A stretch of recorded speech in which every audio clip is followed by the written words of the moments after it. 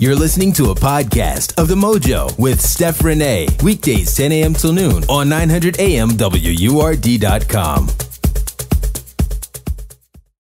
And speaking of back in Philadelphia, familiar faces and wonderful opportunities to celebrate culture in our city. Mike, please, uh, first of all, hello, welcome back. Hey, how's it going, Good. I, was, I, feel like I haven't been here all week. I was here in studio on Monday, and I haven't been back till Oh, today. been doing the library. It's been yeah, it's been a busy, busy week, but good to we, see we you. Are, we are here in the studio. It's a very exciting day.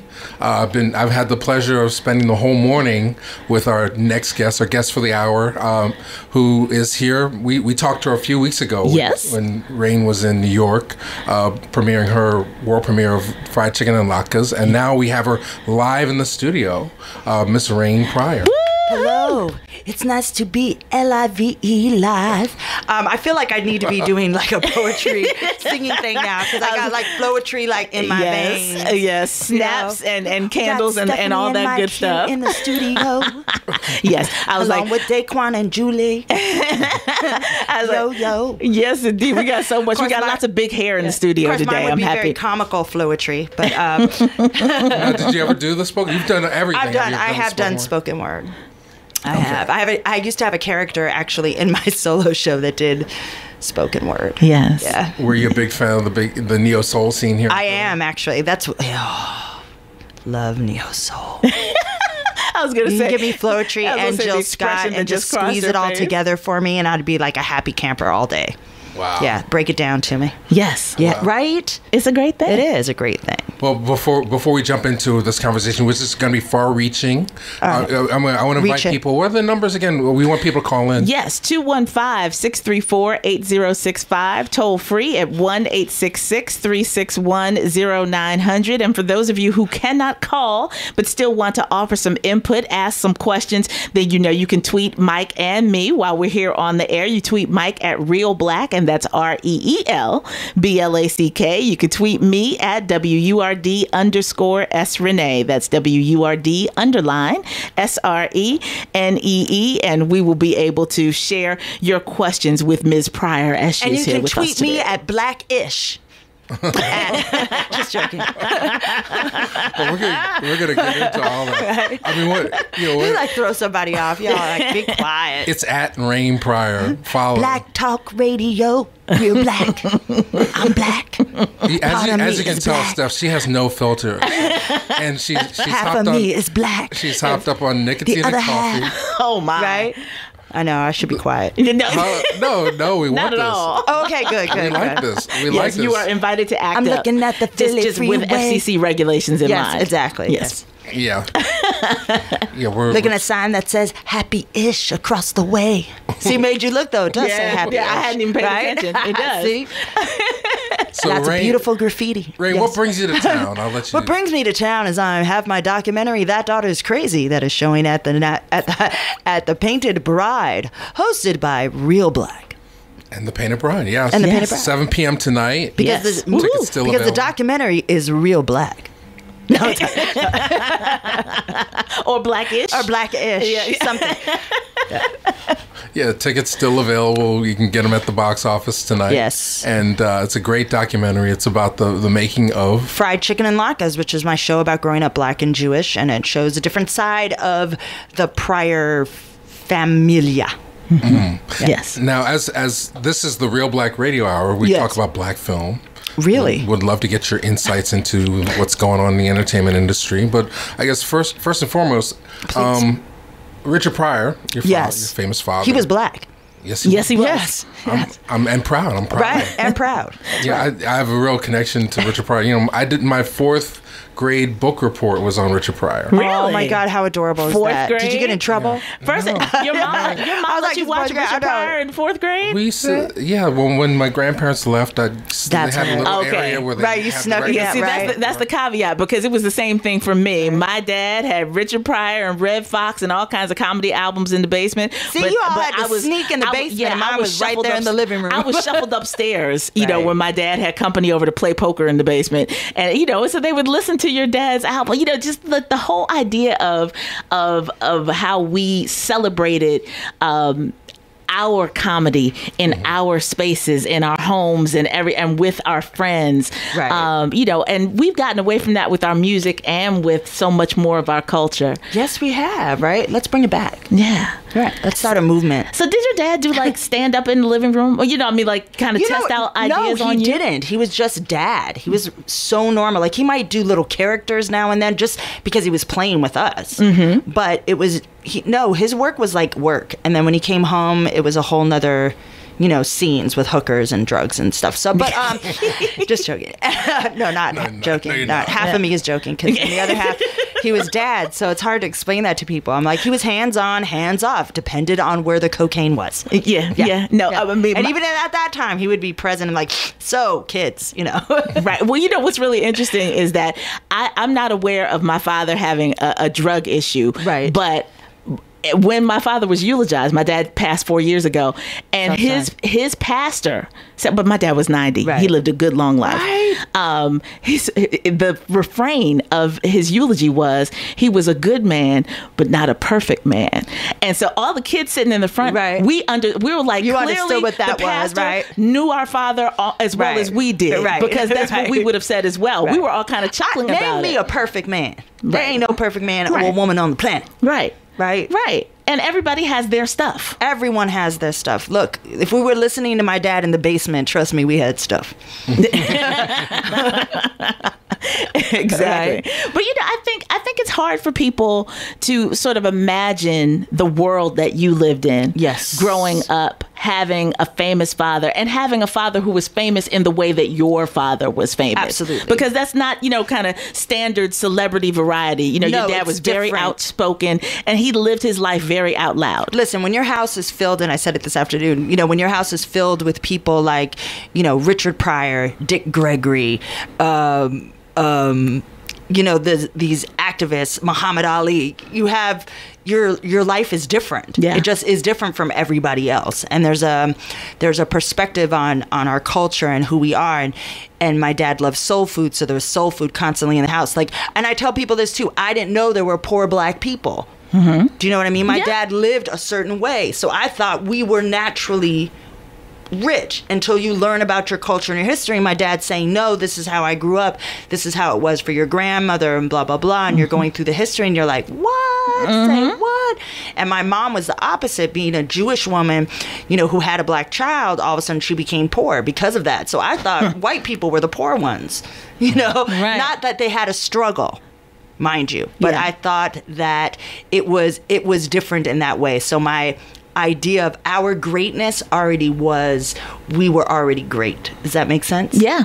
Absolutely. I mean, I'm um, finishing up Harry Belafonte's memoir, very and so he has part. i just met his daughter came to my show gina and it was Nice. wonderful yes Well, so so so so you can relate to this then because part one of the book is about him becoming famous. Yes. uh, you know the artist part of him. Right. Part two of the book is the activist part of him. Yes. You know, using the celebrity as leverage to now be instrumental in the civil rights movement and gather people and really speak to these issues.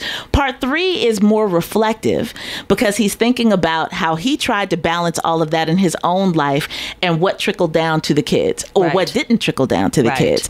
And he, he was the product of two biracial parents. Right. All of his children have married white folks. So he's, you know, sort of thinking, well, did did it lose something did i lose something in the translation and Yeah. and the truth is no because i think he spoke from the, about the human spirit see what and and i'm going to go deep for a second if you don't mind. Sure. so i i think what we're what we as a as a culture of a people as, as uh, when we call ourselves black i think what we're missing is it's not about the it's in in white supremacy world that we kind of live in it's about skin color. Mm-hmm. What it is for us it's it's holding on to our culture. So if his children possess the culture like I have possessed the culture. It doesn't matter who you're married to.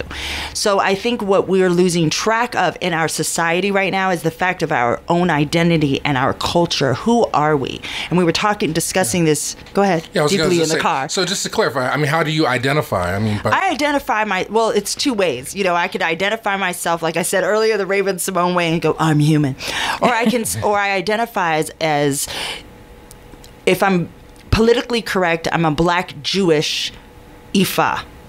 Um, if I do it my way, I'm I'm a Ifa woman. Mm-hmm. Um, and I practice my ancestry for the reason to keep and contain my culture and a spirituality that for me is tangible in its in its belief system and its result. As opposed to just sitting and praying something will happen the the things that I do actually transform and happen so I can touch I can feel I can smell I can you know taste it. And um, for me that's very powerful Yeah. All right. So, so as an, let me ask you, as an artist, Yes. how are you processing all this stuff that's going on right now in the news in, in terms of um, race is definitely at the forefront of a lot of discussion. Well, what's interesting and, and which I think is is great, even tonight, that the fact that you're showing that daughter's crazy is the fact that it deals with that. So I'm I deal with race in my show. I deal with racism in my life, and um, and as as an artist, and from what my dad gave to me and bequeathed to me was not money, but a sense of truth and knowledge.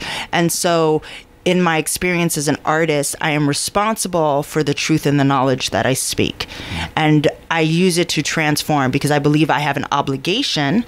Because of who I am, because of my lineage, I have an obligation to transform. Mm-hmm. So I use I use what's going on socially to do that, and I don't care about political correctness. I'm not that person, other than on the radio, not to say curse words. But I am not that person. So I am very driven to transform how we think and how we can adapt the truth of what our culture is about.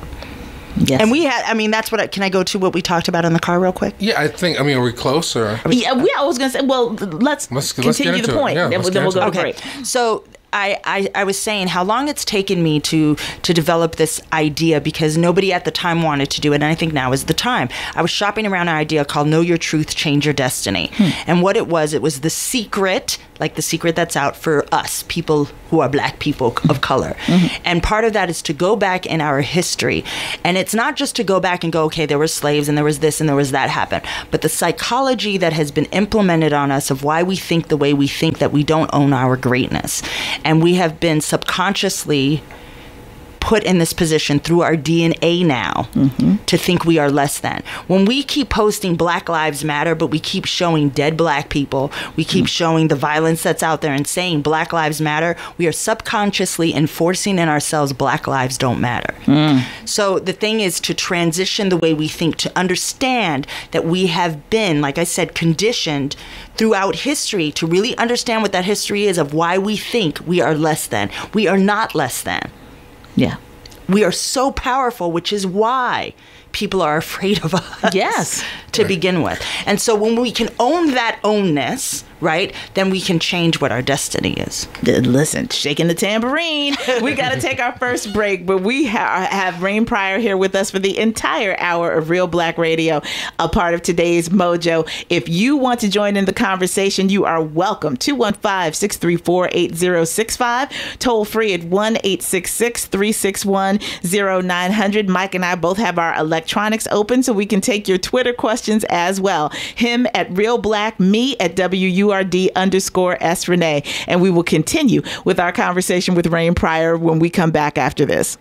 We're just here uh, collectively head nodding in the studio as we appreciate the good R&B, but also talk about this idea of legacy as we are joined. Mike D is in the house representing Hello. Reelblack, and uh, Rain Pryor is our special guest for this hour of today's program. Thank and, you. And uh, we're having a good time with the music and the conversation. But I, I, I've, I've got a, I've got a question. So I'm Okay, not, I'm go not ahead. disagreeing with you. I, no, no, no, I, I completely. And you can disagree. I'm on. I'm on Might your knock you wavelength. out, but you can disagree. Just just playing devil's advocate about this thing. I think you if you, you're saying if we stop tweeting uh, hashtag Black Lives Matter, that we're subconsciously we're putting in a message out that No, no, no, no. That's not what I'm saying. Okay. I'm saying if you're posting Black Lives Matter Mm-hmm. with pictures enforcing Black Lives do not matter, you are subconsciously wiping out that Black Lives Matter. You're undermining the You're message. undermining the message. Okay. When we support each other in the Black Lives Matter movement, we need to show pictures of Black Lives mattering. Mm. When we show the opposite, we are still enforcing. But see, what we don't realize is that throughout history, we have been subconsciously conditioned to believe we do not matter, which is why we keep posting the trash that we keep posting. Mm. You know, not to, and when I say trash, because I know there's people out there who, you think you're righteous and black. Let me break it down to you.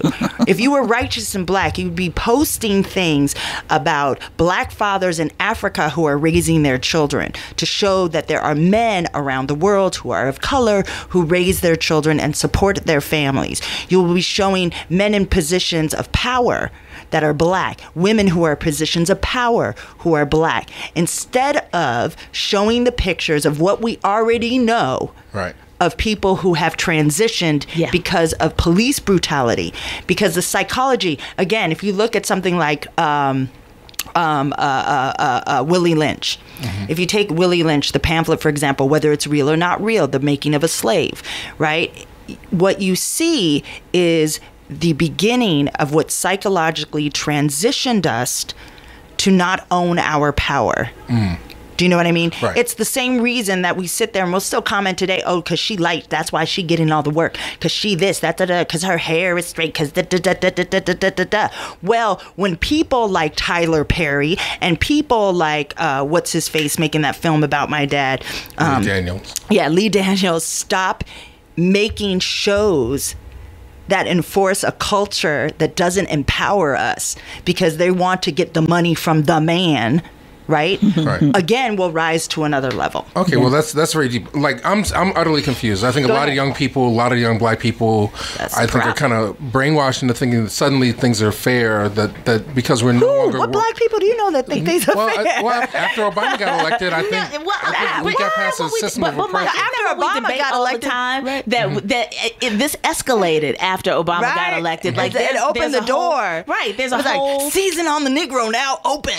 Absolutely. And, and so, and, and to defend Rain's point, there's a reason why the Dream Defenders in particular spoke up about their, I forget what black organization it was. And I want to say it was uh, an LGBTQ organization that was supposed to be having a reception in the same art gallery that has an installation about Michael Brown. And they Oh, were like, Chicago? what do we look like standing around with cocktails talking about high art and high education while there is a, a, a- an exhibit just to our right of a dead black body. A- hmm. a you know we can debate all day long whether it was the artist's right to create this exhibit mm-hmm. but us standing around it, you know, shishi fooing mm-hmm. while this image is uh, just to our side doesn't make any sense. Logically, this is not the place to hold this event. Cocktail. Right. Yeah. Mm-hmm. Right. Yeah. A cocktail party. And so I think that the level of consciousness about how we reinforce this idea that Black Lives Matter is incredibly important. Mm-hmm. The same way that I never grew up not thinking I wasn't going to go to college. Like it Right. wasn't even optional. It was never in my go. frame of reference Right. that everybody in my family did, that it was something that was important and necessary for me to keep learning my entire life. And so that was the standard. Which brings me which brings me to what we were talking about slavery and i said the only the only the only thing i think ever and there's nothing positive about slavery the only thing psychologically ever was the fact that the that black people during our ancestors during the time of slavery self-educated themselves Yes. and even if it was in secret and we have stopped self-educating ourselves Yep. when we were given the illusion that now we shall be educated fairly and equally.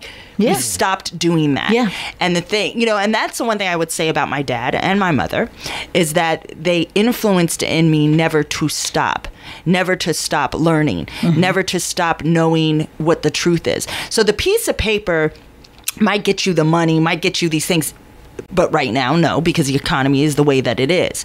But n- true knowledge of who you are and what your truth is will get you a lot further. Mm-hmm. And and and also to learn well you know people say but we're stuck in this you know in this white supremacist world and is it going to change what we mm-hmm. talked about in the car and i said the biggest thing you can learn to do is how to be in it but not of it mm-hmm.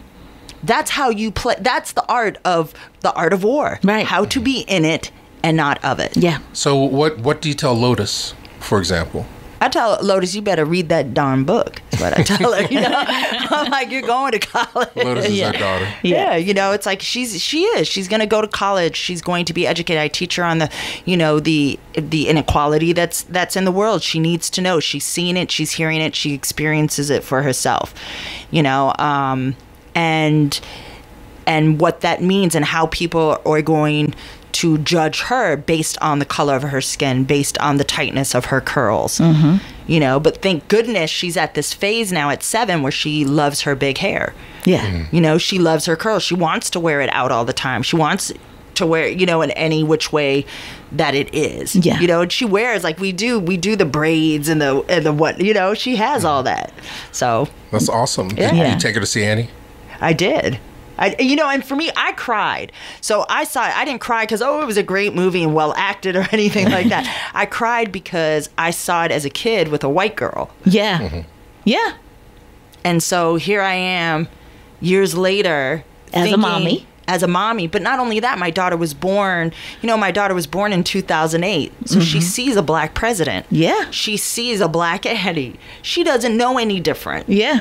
Mm. So she's empowered already to know she can be great, to know that she can lead. Yeah. And so it's my job as her mother to teach her that, but then to also teach her the history so that when she goes to school and the teachers start to undermine her brilliance, mm. I get to enforce that she is brilliant Yes. and can so she can stand up and grow. Do you know what I mean? My daughter needs to become a leader, period. No matter whatever she's a leader in, she needs to be a leader. Yeah. Does that make sense? It does. You know? And, I'm, and I'm curious, you know, with looking at Yes. the similarities and also the challenges Right. between black community and Jewish community. Right. right? I, I, I jokingly say that I'm honorary Jewish. I, Right. I was a I was I a you youth, said- I was a youth, it, yeah, yes, youth yeah. ambassador to Israel when I was in high school, Wow. but I've also taught as a creative writer and as an instructor. Right. I've taught Jewish confirmation classes about cultural competency. So, you know, we have these really intense uh, conversations about identity Right. and about uh, having a cultural framework for your place in the world, for the Right. work that you want to do, what informs, you know, who you want to be. Right. And I think a lot of people who haven't had as much exposure to the way that that kind of uh, information is folded into Jewish religious teachings and, and just cultural teachings think that we're further apart. Uh, Right. as communities than we may actually be in only- terms of the, principles. The only way that the only separation in the idea of community is that is that within that religion and culture they maintained a sense of community. Do you know what I mean? A sense of oneness in its own thing. That is the difference. So slavery because they weren't slaves. Yes, in did Hitler do what he did in in Germany? It was for a purpose. That man was practicing some kind of weird magic, let me take over the world kind of. He was like devil worship, whatever, right? That's a whole ins- insanity. We were brought over separated from each other, from our families and then even more divided and more divided and more divided. Right. Where in that do we subconsciously grow a sense of community and learn how to do that? So that again has been stripped away from us. Mm-hmm. So again, when we go back and we uncover what our history is, we can grow that sense of community and culture Yeah. and start holding each other up in a different way and holding each other accountable for our corruption. We are, we have, in every sect of everything, there is a corruption. But when we hold ourselves accountable for our own corruption and the corruption of our people, that again is when we begin that point of change and consciously change so that again we know our greatness Right, right. Taking it away from from Go the ahead. from Break the cultural. No, no, no. I'm saying no, n- not. Uh, but I, I fully. I'm with you completely. But you also mentioned growing up as the child of a celebrity that Yes. your your frames of reference were a little different than, than the average black kid in the hood. Absolutely. Right. Which maybe is a good thing for me being able to speak on this because Yeah. I know we are great. Yeah. But I also watched the it of it in Hollywood and the mechanisms that are in place there also try not to let my dad know he was great. Right. And to pull him down and give him drugs and give him this and give him that. Where mama, his mother, his grandmother, when she ran a brothel, she literally said, Why not let the white man pay for it because mm-hmm. he's already stealing it. Mm. That was her reasoning to open up a brothel. Right. She knew the psychology. If you're gonna steal it, pay for it. Right. And let me, if you got, you know what I mean? Yeah, uh, that that money 'Cause will circulate take it. back. Yeah, yeah, yeah. Hello? Yeah. Well, that's the woman part, wore furs, sold bootleg, you know? Yeah. she knew what was up. that- that's being within it. Yeah. That's part of being within it. But I mean, just again, being devil's advocate. I mean, isn't it a two way street? Don't don't don't uh, white people also have to own up to some of this? Uh, pro- some of the problem. It's not. I just a- think I think the onus comes in into the acceptance, getting rid of the denial that there is privilege, and I. I, I can't you know half of me can I can't even half of me can't speak on that. Um, the person who can pass can speak on it. Do you know what I'm saying? Uh, but I have never been able to pass. I'm either I'm either considered a Latino mm-hmm. or of Latin descent, or mm-hmm. I'm considered black.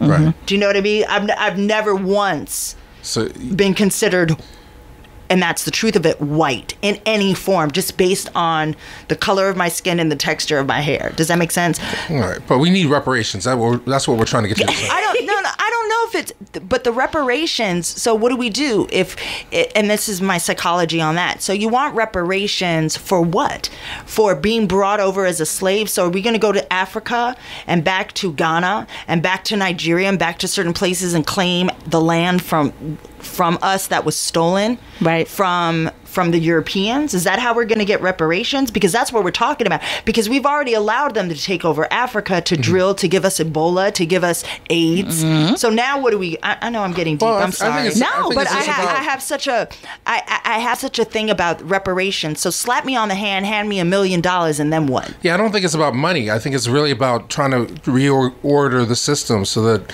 things are a little better. We have better advantages. The only thing I think you can give reparations for is to stand up and say, yes, we the our the forefathers of this country stole black people, ripped them from their homes, uh, made you build, decided, hey, we'll free you so you could fight our war, not from the goodness of our hearts, not because we thought, oh, you're suffering, but because we needed more people to fight our damn war between the North and the South.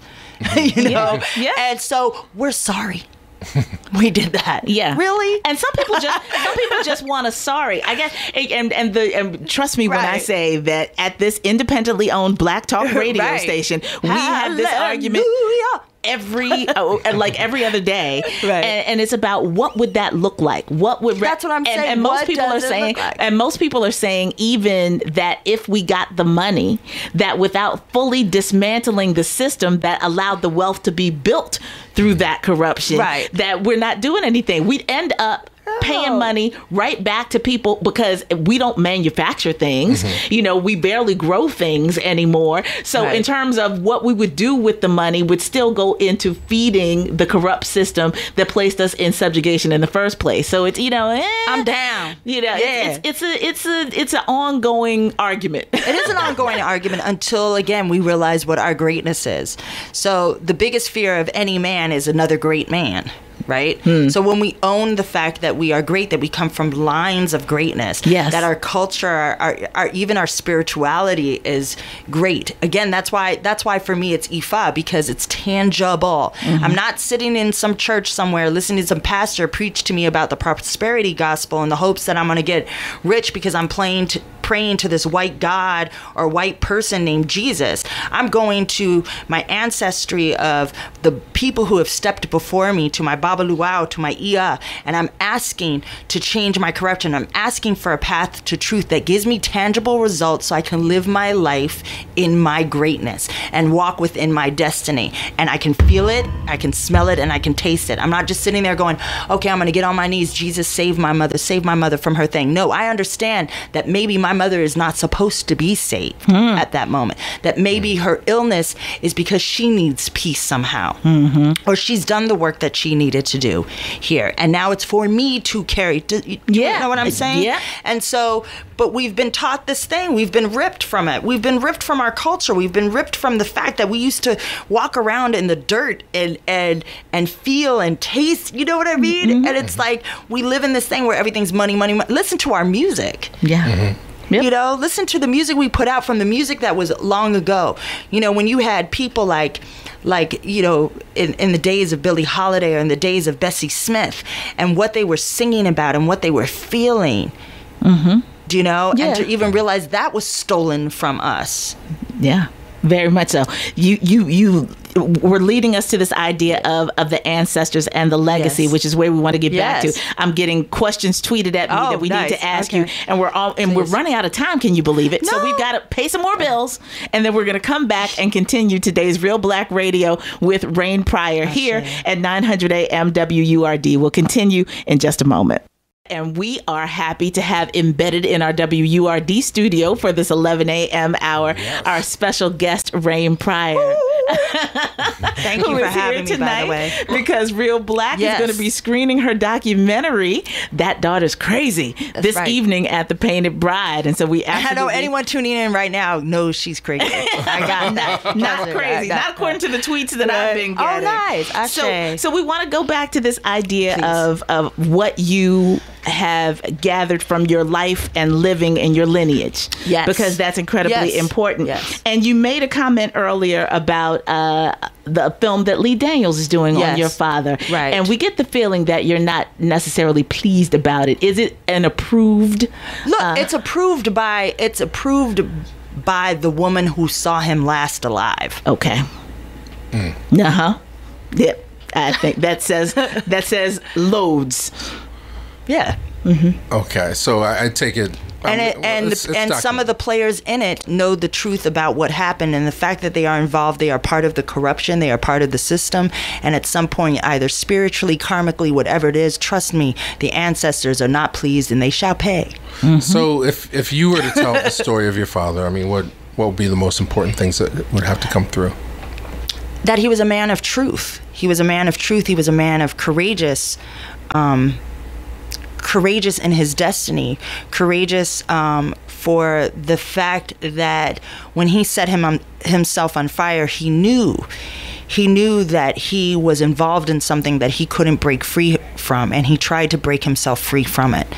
And um, and he didn't want his kids to be a part of that Um, and he wasn't able to break free from it and he spoke about it at least with us and he spoke about that truth and that um, i think as a performer and, and an artist i don't know what other story other than him as a father could be told.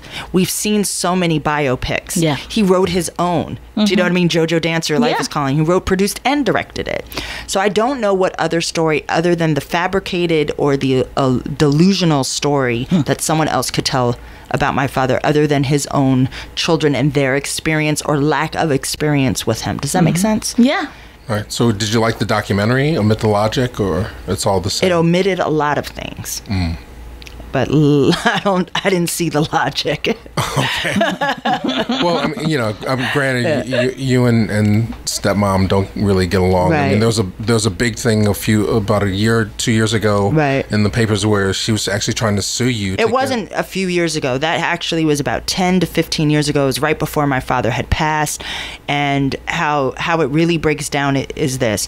In in the early in the s- in the 60s around the time where my mom and my dad had met and fallen in love, my mom and my, dad wanted to make this movie Uncle Tom's Fairy Tales and they did. My mom put in all the money for it. Penelope Spheeris, who was um, actually she wasn't even directing it at the time, but she was a part of of the process. Um, wa kept the film and its footage and all the stuff because no one could finish paying for it at the time, and um, so my mom and my dad split up. Pe- Penelope holds on to this. She finds the footage years later. She decides she wants to put it in archives because it's such a political piece. I mean, it's it's an all black jury You know what I mean? Against a white man who's accused of rape. So, um, and even the concept is so far ahead of its time. We're talking 1968, 1969 that Right. this is being done. You know, um, and so she tries to do this and she thinks in her right mind because Jennifer comes after her to come and give it to me because it's in its rightful place for the people who put the money into it, which was my mother and my father. And when the papers came that I am being sued for something that actually belonged to my mother, my mom said, I want no part of this or that woman, just give it to her. And so I did. So th- this is, a, and, And I didn't but fight. But you've seen this film, like Richard Absolutely. stars in it, and yeah, and it's it's it's you know it's not all totally pieced together. It is what it is, and it's but it's great filmmaking and it's great history, Hmm. because my dad was so brilliant and smart. He was so ahead of his jumpstart in what the world could be, what it could reflect. You know what I mean? And this is kind of that that that gem. okay. Mm-hmm. Now, is it as good as California Suite? now, just say that to segue into. segue into Mr. Jello pudding. Um, yeah. don't close your eyes and eat the pop. Um, I don't know. Well, it's it's it's well. I mean, obviously, you know, you can't. You, Look, I've, I've you known, can't- you I knew talk- about all this Michigas, as we Jewish people will say. I learned about all this Michigas, you know, when I was a kid. So I, I've known this story has been going on for years, and I knew people who have been d- directly affected uh, or initiated, and um, and so I, f- you know, it's. It's it's coming out now. Why? For reasons maybe someone didn't pay the piper. I don't know. initiated. Yeah, nah, nah, mhm. Okay. Uh, women fully un- feel that. Trust me when I say I, I, want to Hopefully, say the other half of your audience felt it too because they don't understand what I meant, a- right? a- a- what what what I mean astonishes me. Yes. About some of the conversations we've had on this Yes. airwaves about this whole mess. Right. Is that there are people I, I wonder what the the level of show me the proof is that would satisfy 2015's public Okay. because that's what people Let- seem let- to be asking No. for Let me explain that to you, okay? We have we again, let's go back to our ancestry. We get ripped from our homes, we get ripped from our culture. We every icon that we have tried to build up either gets shot down dead, gets um, stolen from us. Right? Mm-hmm. Mm-hmm. You have one that's that is creates this family of the working black family, but they're they're upper middle class. They're making things happen. They have the kids. They have the babies. They're having culture. They're having conversation, and he puts himself on on this level of esteem. And right now, the carpet's being ripped out from him. So psychologically, we go to that place of every single person we have lifted up has been pulled down, mm-hmm. and we don't want to lose that. Right. Right. But he should never have sold himself out to make that happen in the damn first place. Mm-hmm. And we are so, as a people, willing to be belittled by our own, which he did, from standing across the stage talking about our families and how we should raise our kids. Mm-hmm. When, meantime, behind his closed door and her closed door, stuff was going on. Mm-hmm. It's always the person who's pointing the finger. but we want to shoot down someone like my dad for telling the truth on stage about the fact that he beat women and he did whatever. He never drugged them. He talked about it, he was honest, and he made amends for it. yeah You know what I mean? We don't want to hear the voices of the people who are really powerful, the Dick Gregorys, the Martin Luther Kings, the Malcolm X's, because we don't want to know that truth. Because no it's, one was hard. No one, right? It is hard. So we'll pacify ourselves with a half truth of this or that, and now we'll look for it. We'll look for. Let's not take down our icons. Give me more proof. Let's not take down our icon. Give me more proof. Mm-hmm. The- but the but the thing is, we have to face our own corruption and watch who we are holding up. Mm-hmm. Who are we holding up? If you can't speak a truth and say, "Yeah, I've done this in the past, or I did this, and it's really messed up," and I didn't want to be that person anymore and I'm going to change my life, fine. But if you are involved in Hollyweird, right, and you mm-hmm. haven't learned how to be in it and not of it, and you are of it, you are part of that all seeing eye no matter which way that you go. yeah And it's c- gonna come a time where you're gonna have to pay the piper. Otherwise, they're going to pull that stuff out of your closet. That's one thing about my dad. There was nothing in his closet. Yeah, right. It was all out front. Thank you. I could not help. Every time Dave Chappelle talked about the decision that he made to remove himself from the madness, I couldn't help but think about your father. Mm-hmm. Right. Because this idea of what we do to genius. Yes. And genius that lives that far out front. Yes. Um, and tries to grapple with all of the the stimuli that, Yes. that fuels the, the bits on stage, Right. but is also fueling the the life at home. Right. Um, I, I don't know that we're prepared for that. It's the same people who say to me because they know how I feel about music that I can't listen to India.Arie because her stuff is too happy. Right. What or I need mm-hmm. or I and I've, I've Right. blogged about this Right, for the right, website. yeah, yeah. Or you know, Mary J's music was better when she was getting her butt beat. You know, like mm-hmm. who Right. says that? Who says that? That but that's the kind of mentality Right. that we're in. It's like but we, would live in rather that world. the- we're, in the we're- matrix. we're in the re- we're in the reality series that's not really reality world. Do you know what I mean? Yeah. We want to watch other people fail because we can't see our again, we can't see our own greatness. We can't see our own power.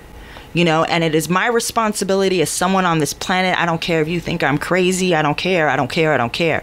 I want to help you to see your power. Yeah. I want you to know that you are great. I want to look at every young black girl with her beautiful dark ebony skin that's much much darker than mine because I'm in the lightest shade and go, "Yes, you are beautiful. You are amount to something. You are a queen. Treat yourself as such." I want to say every girl with her light light skin and her and her hair that it flows or not or she bought it from India, you know, that sells for whatever that one she, one she doesn't need to do that unless she wants to. Mm-hmm. Do you know what I mean? Yep. And that she is beautiful just the way she is. Mm-hmm. That the color of her skin is beautiful just the way she is. And it doesn't separate you from you and you. And there's no, do you know what I mean? We're all, we are all equal on the level on which we are empowered. Mm. Mm. Yeah. That's a definite period and on the set. Please, please And make sure people know how to come out. Yes, and come out to support Real tonight. Black and the Painted Bride. Sorry to get off topic. I'm here because my documentary is showing that daughter is crazy. So th- this is just a taste. oh, damn. We, we're going to experience the movie That Daughter's Crazy tonight at 7 Yes. o'clock at the Painted Bride Art Center, 230 Vine Street. Admission is $10, $8 for students and seniors. Nice. And uh, yeah, so you can't beat it. You can't beat that. Rain is going to be not there signing Friday. copies of your book, Yes. Uh, Lies, my, Jokes My, My father never taught me life, love, and loss with Right. Richard Pryor. So you want to have that in your collection for sure. Yes, And but that's uh, more than ten dollars or eight dollars. Just let me. yeah, Just so you know. We- we- yeah, this is we're on the come up here. It's Friday. Got a seven-year-old. She got to eat. but it, but, but Rain, Rain's going to stick around and sign them. So Yes, yes, it's actually sir. priceless. Yes, sir. And and a Q and A as well. You know, more wisdom, more uh, no filter. No as, filter. as promised. Right. So Yes, sir. so hopefully, uh, folks listening now will, will come and and join. And us. if you are listening now, besides coming to the documentary and supporting, you know, uh, black-owned radio or whatever, be sure that in your life today that you do something that shows Black life matters. That you matter, it matters, and so do something that is reflective of that each and every day when you wake up. Right. And the last thing I, I just need to say uh, today, opening at the PFS Roxy Theater and the AMC Cherry Hill is the movie Unexpected, which played at Sundance. And uh, you can go to reelblack.com later on today to listen to an interview with the co star Gail Bean.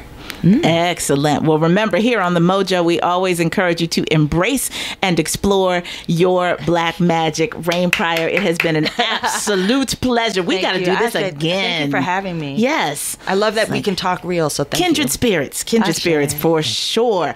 We are going to get out of here and make way for our friends at UPPN. The Empower Hour is coming up next, bridging you with your political and entrepreneurial power and how that needs to be exercised in our community, along with a whole host of other great programming throughout the day here on 900 AM WURD, streaming live online at 900AMWURD.com and available wherever you might be in the world as long as you've got an internet signal and our free app for iPhone and Android. Stay plugged in and connected. And Lord willing, we do this all over again, 10 a.m. on Monday, and hope that you will be tuned in at that time. Thank you, as always, Mike D. Yes, this was a lot of fun. Yes, indeed. Take care, everybody.